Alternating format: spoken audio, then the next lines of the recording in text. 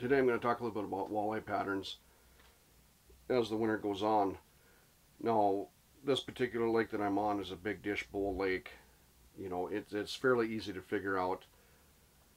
You know, and I've fished it quite a bit over the years, and there's always, you know, every year you can go back kind of the same spots and catch fish.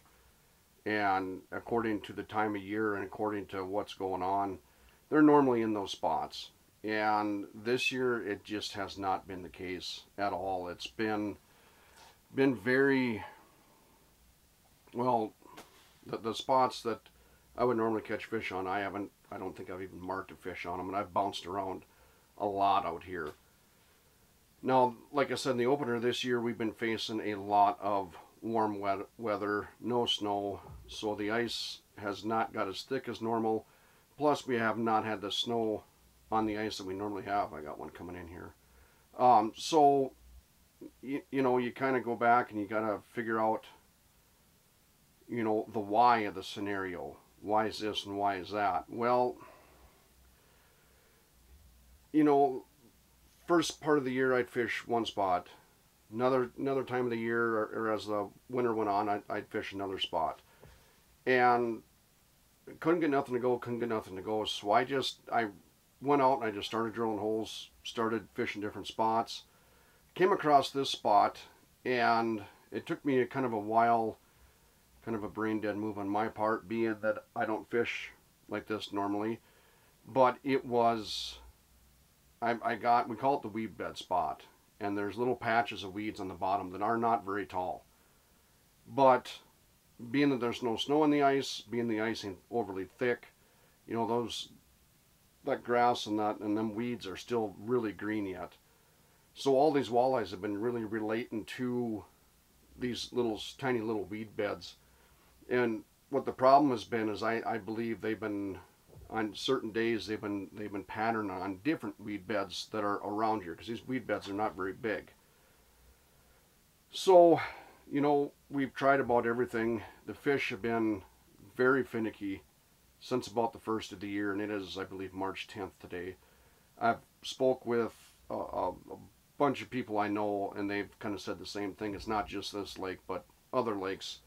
It's been very finicky, very, very finicky, and trying to figure out why, trying to figure out when, you know, when are they most active. It's been quite the challenge, and it'll humble you uh, really quickly. And but I do love that because it makes me think. It, it makes me learn more. So the frustration part has been a learning part, so it, has been good. And as I said in the opener, also, I'm completely by myself today because I my son is, I believe, getting kind of burnt out. My wife is a little bit burnt out on it.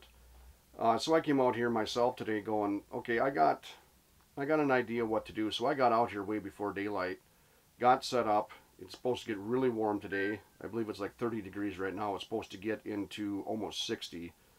So of course you want to get out here and get that good, real good solid morning bite in before it starts getting warmed up and then get the heck off of here. But but I'm believing these, I, I'm right off where the shallow water is. I'm right off to the side of where that shallow water is. And these fish are kind of just going back and forth here right now. I've marked quite a few fish, but only got one to go so far.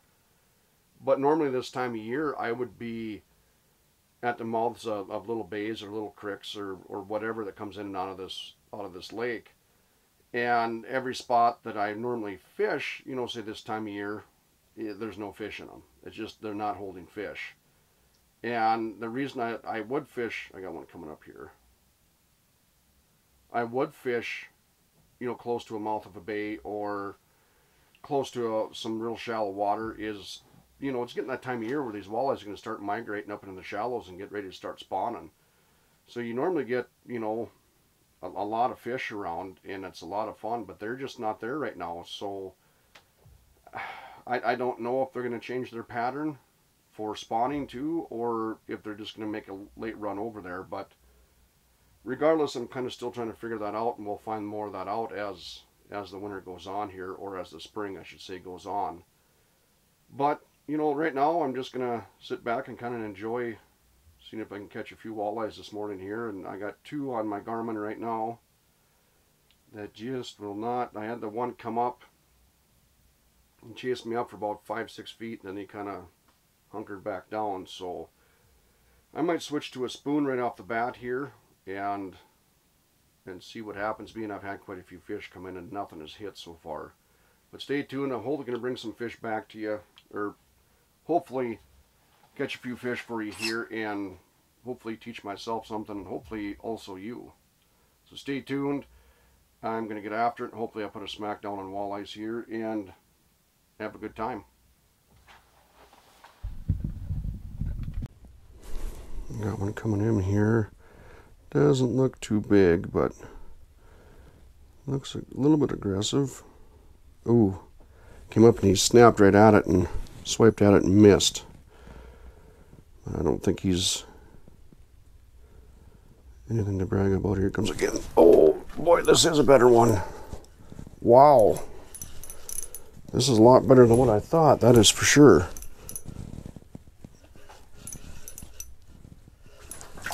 I mean, not a giant, but he's still better than what I thought he was down there. He's solid, I don't know, 15 incher, I suppose. Solid 15 incher. Not going to keep any today, so let this one go back. I've got plenty of fish in the freezer, so nice start.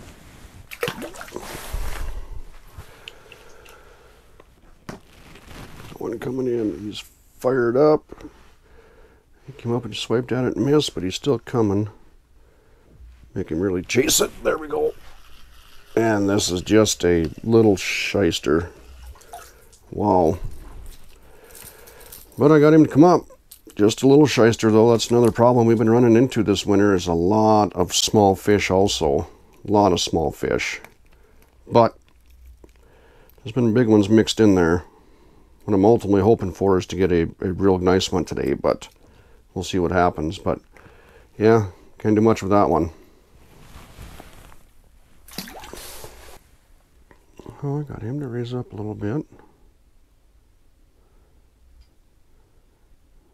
Just not enough. He's not charging.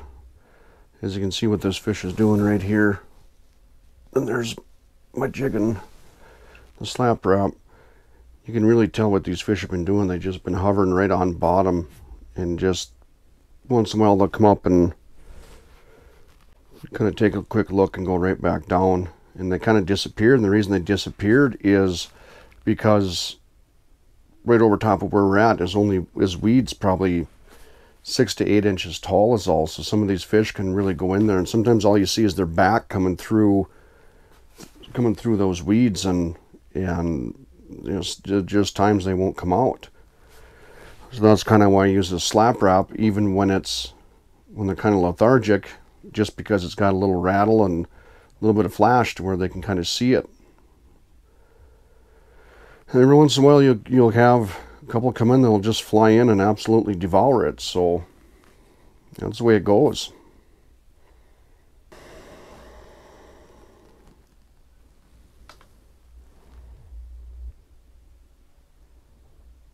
Got two coming up after me. This one, there we go. That one hit. I don't think he's very big. Had two coming up after me, and he hit. Nope, just another little guy, but just another little guy, but he T-boned that thing. Just a little fella. Wow. And that's getting frustrating with these smaller fish, but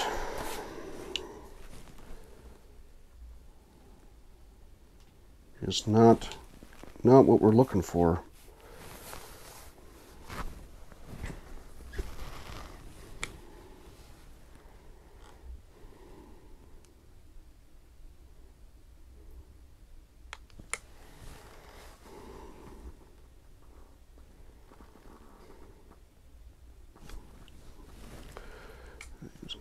back up. What's he going to do here? Just mess with me again?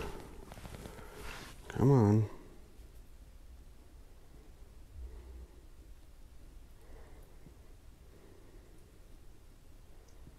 Nope. Ooh. Come on, there we go. Finally got him.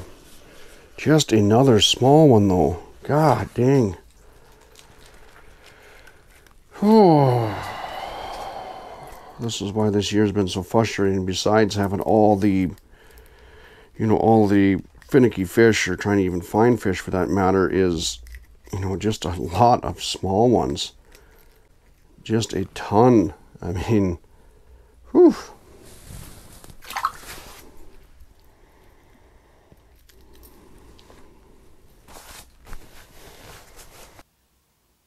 Got this one coming up. Using a Slab Rap to get going here on this rod I'm using. Now I got three fish on here.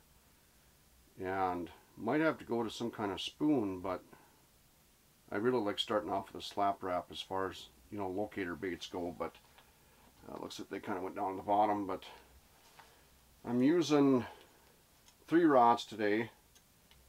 Uh, the state I'm in, we can use four, but I normally only fish two.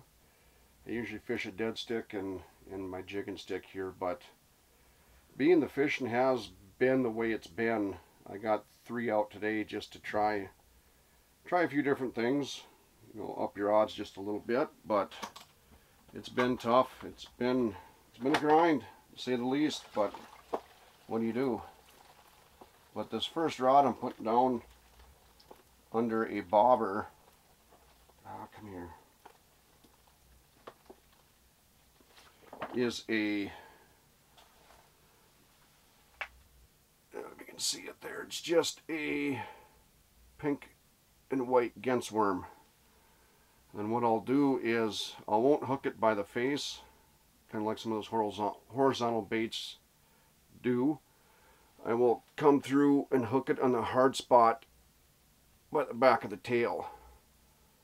So it kind of hangs kind of hangs like this here. Well, once it gets down there, it'll hang kind of like that. But that minnow can still really swim freely, really move around yet, but he's got a lot of action to him, but yet he can't move around a whole lot with that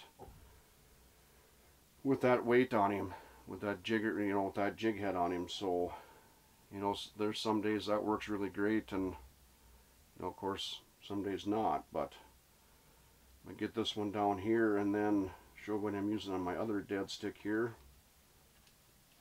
Get this one out of the way.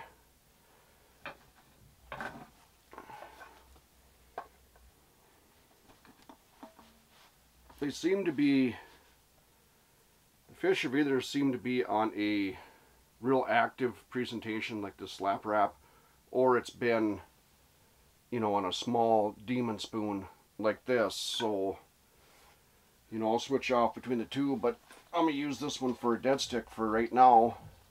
And I'm going to put it on and I hook the minnows the same way as I do with that other jig I just showed you, but I'm going to hook through the tail here. The reason I do that, for a couple reasons, is because minnows can swim around real well, plus you're in that hard spot of that tail, and that minnow doesn't fall off nearly as easy. But, using a rod rocker, and I don't know if anybody has these or anybody uses them, but I tell you what, they are a lifesaver. You just drop your bait down on the bottom, get it set to where you want it. You know, and then this rod will sit balanced just like this on it. And then when you get a fish, of course, the rod will just kind of go down like that and you'll never lose your rod because it's hooked on there really well. So this has been, for years, this has been a, a I don't want to call it a presentation, but rod holder, per se that has been just dynamite. Don't got to worry about a bobber, don't got to worry about any of that. Now, normally if you're not using like, you know, today I'm using a Garmin. So if you don't have a Garmin to see exactly where that bait is at, you know, either you can just drop it all the way to bottom and then reel it up a little ways once you hit bottom, or you can put a bobber stop on it and set it just like a bobber and then have that, the knot for that bobber stop you know, right at the top of the ice so you know exactly where the bottom is at. Then once you lay your rod down, you can reel it up, you know, so that bobber stop is is the distance from the top of the ice to the bobber stop itself. And it'll, it'll tell you how far off bottom you are, of course. So it works really well. I, I really like this presentation. Then every once in a while, I just kind of reach over and tap the bottom of the rod or the back of the rod and it'll, I another fish down here, but tap the bottom of the rod to give it a little, a little jerk or a little jig and I've caught a lot of fish off that. I've caught, God, I've caught hundreds of thousands of fish off that, off that setup with this rod rocker. And all it is is that yellow piece of metal I showed you and then take a 2 by 12 or 2 by 10 and then they go right in the bottom of that. So the other one I'm using for jigging right now, pink and white Slab Rap. Uh, and of course, you can kind of tell that my favorite color for for fishing through the ice is pink.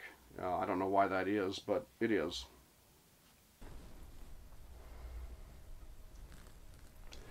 That's the way it's gone. I mean, my goodness, I just had four fish come in, follow it up. I gave them a couple different actions. Uh, I'd change up my cadence a little bit. They all came up. They'd follow it all the way up, you know, six, eight feet off bottom, fire up like they're going to hit it, and they just come up to it and they go right back down. It's been this kind of the story of the year. But here comes a comes another one here. This may be a little bit bigger fish. This maybe a little nicer fish here.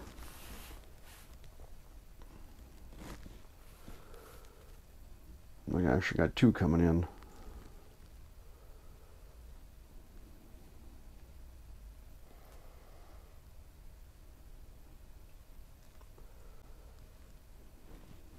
One's on my, the bigger one's on my dead stick. I mean, just all over it. I can't even see it on the Garmin anymore. He's just all over it. Don't want to do nothing to spook him off, but I think that's all he's doing is coming up and nosing it or looking at it here. But it looks like a decent fish.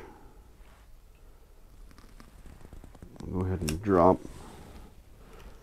my Slab Rap on the bottom and oh he's he's firing he's firing there we go. Finally got a better one to go here. Feels like another one of those eh, 16s maybe 17s finally got a better one to go here. There we go. Oh yeah.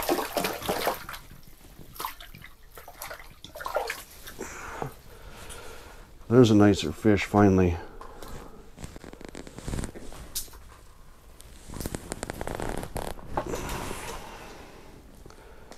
Finally got a beautiful 17 incher to go here. Worked it and worked and worked it, but it's been a frustrating morning, been a frustrating year, but sure satisfying when you get a couple of them to go.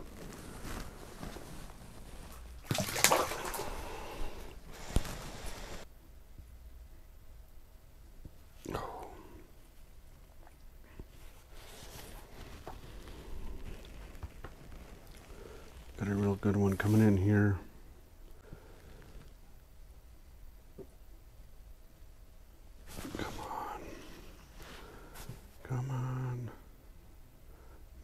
working him and working him and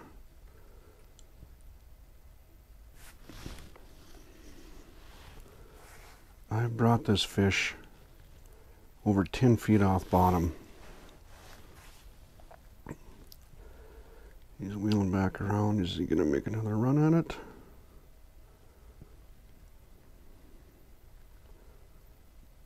Oh, Lord Almighty.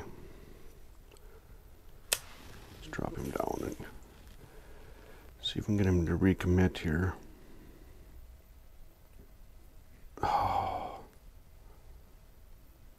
This is insane. This is insane what these fish are doing.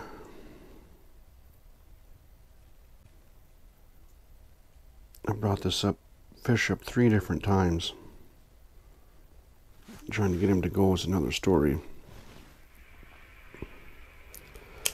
This looks like a little bit better fish here. Cannot get him to go though.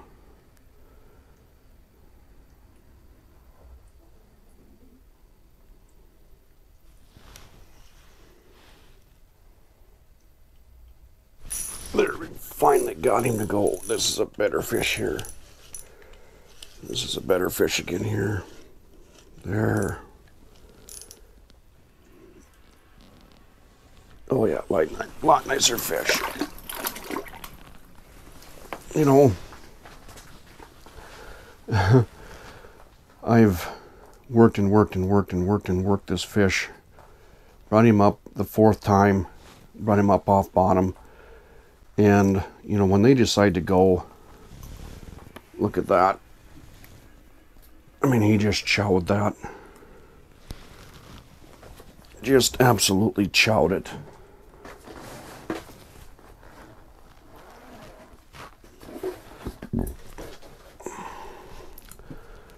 Looks like more nicer fish coming in again. Try to get this one unhooked. There we go. Just absolutely T-bone that.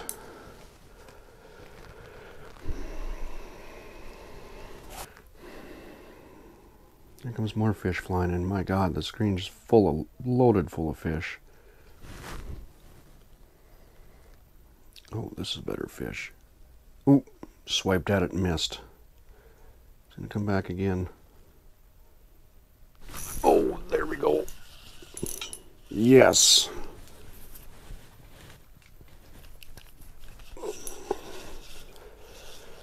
This is another another better fish that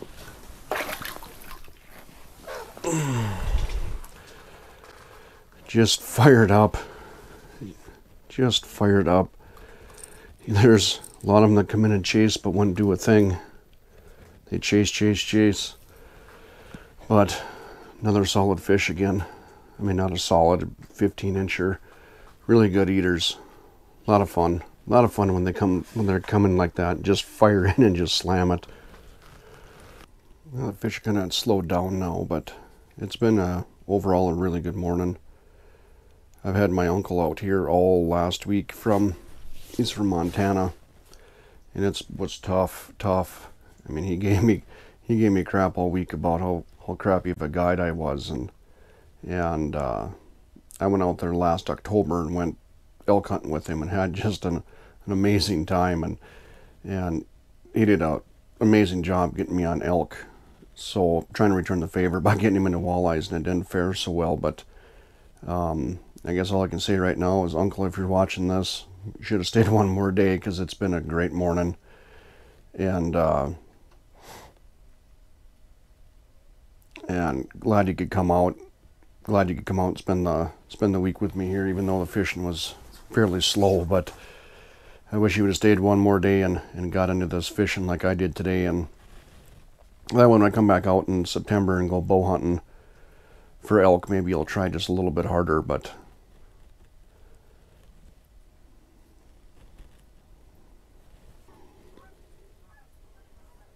like I said before in the opener, you know, this, this pattern has been completely off, excuse me, all year.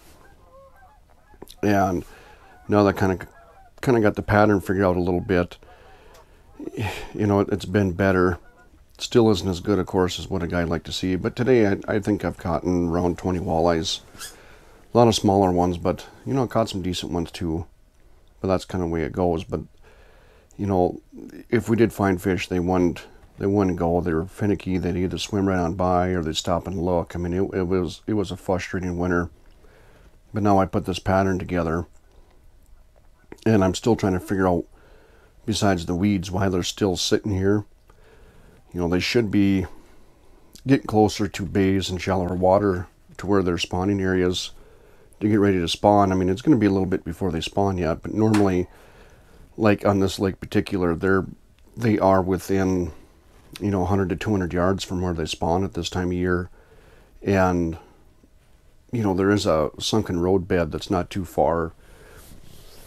You know so maybe they go up on that roadbed and spawn but i i think that road bed's like eight nine feet uh, maybe six feet. I'm not 100% sure. I've never fished on top of it but you know i don't know if that's the deal if, if they're going to spawn there but of course i haven't caught any big females here either. They've all been smaller males.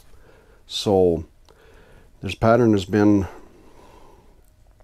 has been a lot different than years prior, but you know, I, I guess the scheme of things now is just be happy I got into fish, I guess, and and uh, had a had a good day after all the after all the hard work and all the miles spent and the time spent and the work put into it and and we finally got on something and, and made something come together and you know that old saying hard work pays off. Well it, it does. It pays off so you know like i said also you know vision hunting is a sport not just you know the physical part of it you know th- this is physically demanding setting everything up and taking everything down and whatever else but what I mean by it's a sport is if you want to get better at a sport, you practice every day. Practice, practice, practice.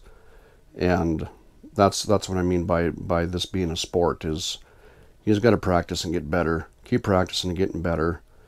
And you know, it'll start coming around. You know, this this walleye fishing is is one of the hardest games to play and and as soon as you got them figured out, they pull something on you and and kind of make you feel like you don't know nothing about them, but and that's what I enjoy about it. I, I don't need to go out and catch a whole pile of fish to have a good day.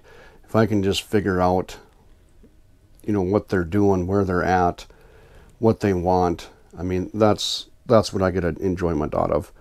And it's it's just been days like today are just a riot. I I wish my son and my wife would have came with.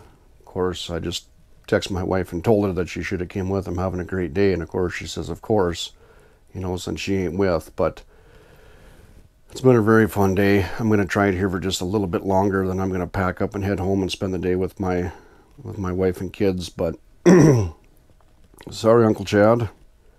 Really wish you had a day had a day like today, but I will send you the video when it comes out and I get this uploaded and you can watch it and see what kind of day you could have had. So not to rub it in, but yeah, kind of rubbing it in a little bit. And plus, it's proof I'm not such a bad guy after all. You just got to be patient sometimes.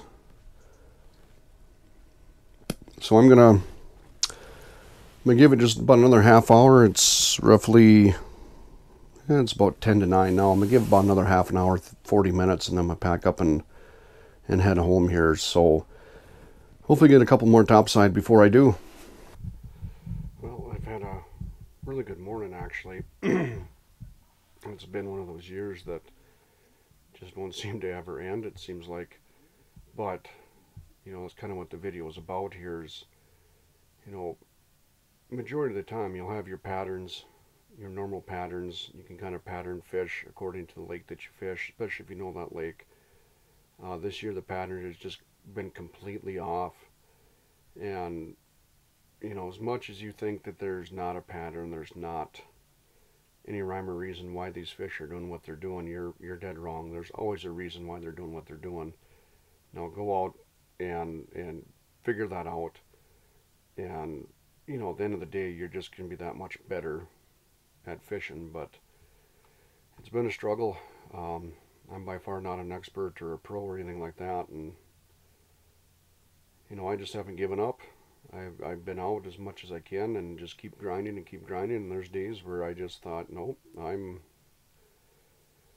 I'm not going. I've had enough.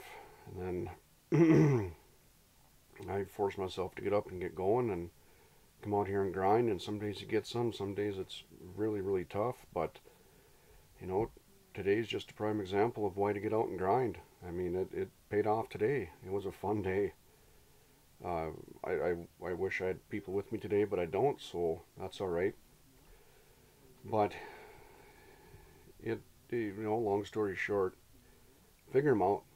You know, they're they're just like they're just like you know hunting whitetails and or elk or whatever. You may think they don't have a pattern, but they do. There's some kind of pattern there. There's there's a reason why they do what they do, and you just got to go figure that out.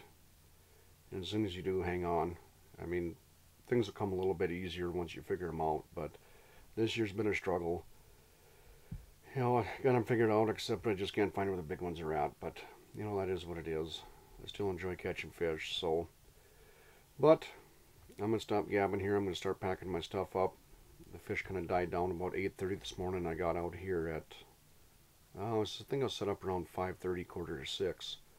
So I've had a good morning I'm going to pack up and head home, spend some time with the wife and kids, and and get ready for the week of work.